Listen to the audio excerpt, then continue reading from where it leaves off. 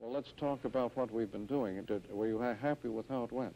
Yeah, I got I got all sorts of little things because I'm just going to drop in the little, the little, the little Bits, things as we mosaic go on. style. Yeah. Now, remember, a mosaic is an interface. And the uh, telegraph press creates no storylines. Mhm. Don't look for storylines. Well, I'm not. Look for the interface, because the interface is touch, is tactility.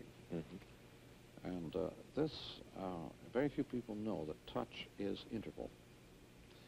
And that connection or storyline destroys interval and destroys participation. Mhm. As long as you have interval, you can have participation. That's why you say of the jokester, his timing was great.